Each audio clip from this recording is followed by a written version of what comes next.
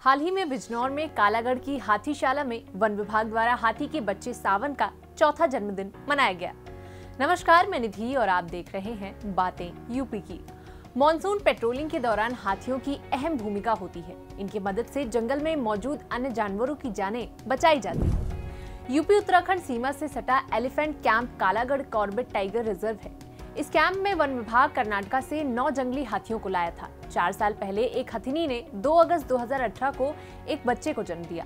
One विभाग के अफसरों ने हाथी का नाम सावन रखा, हालाँकि जन्म के समय सावन का नाम शंभू रखा।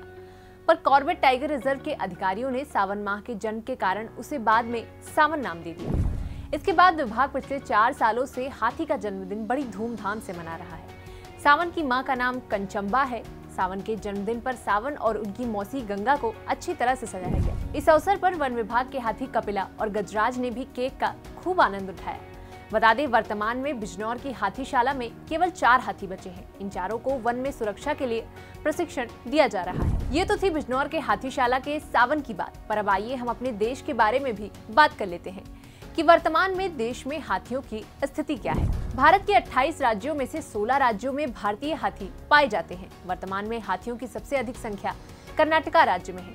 हाथी की सबसे अधिक आबादी वाले क्षेत्र पश्चिमी घाट के दक्षिणी भाग, उत्तर पूर्वी भारत पूर्वी भारत, मध्य भारत और उत्तरी भारत है। हालिया रिपोर्ट के मुताबिक साल 2012 में भारत में हाथियों की आबादी लगभग इकतीस थी जबकि साल 2017 में ये गिरकर 27,312 हो गई। अप्रैल 2022 में केंद्रीय वन मंत्रालय ने उत्तर प्रदेश में हाथी रिज़र्व बनाने को सैद्धांतिक मंजूरी दे दी है उत्तर प्रदेश का तराई क्षेत्र दुधवा टाइगर रिज़र्व और पीलीभीत टाइगर रिज़र्व को मिलाकर यूपी का ये पहला तराई एलिफेंट रिज़र्व बनेगा भारत में हाथी आवासों का कृषि भूमि में परिवर्तन मानव हाथी संघर्ष और हाथी कॉरिडोर की कमी बाघों द्वारा हाथियों का शिकार आदि। हाथियों की आबादी में गिरावट के मुख्य कारण है। हाथी को भारतीय वन्यजीव संरक्षण अधिनियम 1972 और साइट्स की संरक्षित प्रजातियों की सूची में लुप्त प्राय घोषित किया गया है। इसके संरक्षण के लिए किए गए प्रयासों के बारे में बात की जाए तो भारत सरकार ने साल 2010 में राष्ट्रीय वन्यजीव बोर्ड की स्थिति समिति की सिफारिश के आधार पर हाथी को देश का राष्ट्रीय विरासत पशु घोषित किया था। फरवरी उन्नीस सौ बानवे में जंगली भारतीय हाथियों की स्वतंत्र आबादी बढ़ाने के लिए राज्यों द्वारा प्रोजेक्ट एलिफेंट वित्तीय और तकनीकी सहायता प्रदान करने के लिए शुरू किया गया था।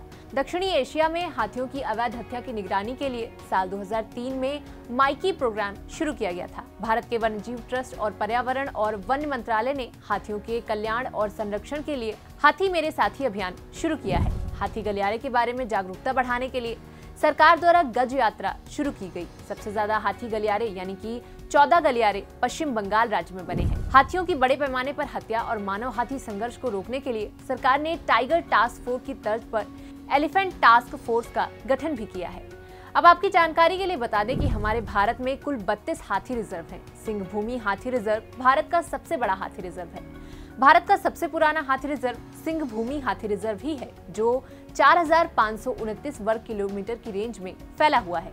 साथ ही भारत में कुल 10 माइकी साइट्स हैं, जो हाथियों के अवैध शिकार को रोकने, आवास निर्माण और सुरक्षा के लिए काम करती है। फ़िलहाल, आज की हमारी इस वीडियो में बस इतना ही। इस वीडियो में दी गई जानकारी आपको कैसी लगी कमेंट सेक्शन में लिखकर ज़रूर बताएँ।